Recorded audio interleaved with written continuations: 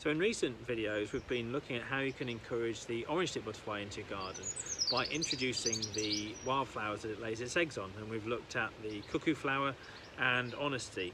Now the third in this category is the garlic mustard which you can see to my right here, this fantastic little biennial which is found often along hedgerows. You'll see blocks of white this time of year, April going into May.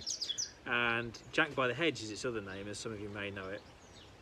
Now, as, this, as you may guess, this is a plant that will grow well in a full sun or semi-shade setting, hence, hence why it does well at the bottom of hedgerows.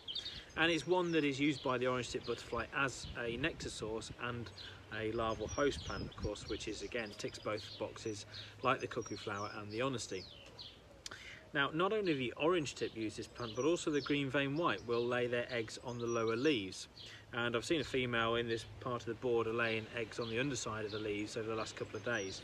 And they somehow know to do this because the orange tips usually lay their eggs towards the, the tip of the plant or around the flower heads or the developing seed pods as the plant matures. And because they're cannibalistic, the uh, obviously the caterpillars will eat each other if they uh, if they stumble across each other so the female orange tips usually only lay one egg per flower uh, or per plant. So that's why the green vein whites will lay lower down. Now you can actually eat the leaves of this uh, this um, native wildflower this time of year when they're fresh and they're just coming out. This kind of a bit sort of uh, garlicky lettuce and speak of the devil there's an orange tip now. So uh, the proof's in the pudding and, and if you can get some in your garden probably the best way is to introduce it by seed.